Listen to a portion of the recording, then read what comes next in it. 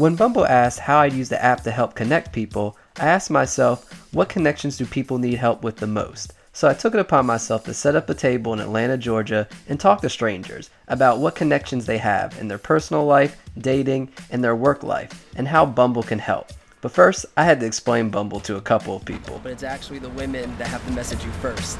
And they have, 20, and they have 24 hours to message. It's Bumble BFF, mm-hmm. so it works the same way as dating, yeah. but it's the it's for finding friends. Oh, and that's so cool. yeah, and so Bumble Biz offers you uh, like dating in the BFF program to create a profile. And you can actually network with people in the same oh, industry cool. as you, working on the same projects as you. Once people got an idea that Bumble's not just a dating app that they thought they knew, I wanted to talk about what people had difficulties the most with when it came to communication. Like, I gotta get married, I gotta get, you know, I gotta do all these things that society expects. Because, like, I have social anxiety and um, it's kind of hard to talk to people, and uh, it's just not me at all, just very, like, nervous. I don't know, all my friends are kind of like studying abroad or interning elsewhere. And while there was many different answers, it seemed that everyone had something in common. It's difficult meeting people. Uh, I came in knowing just like like two people. Just meeting new people, like with the same interests, it's really hard in a new country, especially.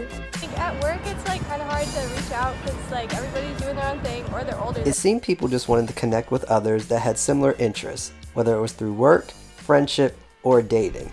Yeah, so after a few suggestions, had, like, almost like a Bumble meetup.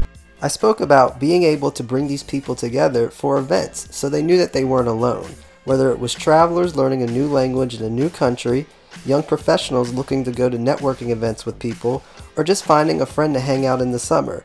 This was something that people were really excited about and really felt that they could connect with. And this is what I think I could bring the Bumble as a Global Connector Bee. Somebody who's going to be able to bring people together through their interests and allow them to have an adventure that they didn't think they could have before. So using technology for good finally. Yeah, Not bad. exactly. Okay. Okay, that sounds pretty cool. Yeah. Sounds pretty cool. I am like legit gonna download it right now. Meeting people through Bumble, I can set up general meetups, work events, dating events, or events that have to do with similar hobbies. The point is, everyone will feel like they'll have somebody and meet new people, people who might change their lives and might even change mine.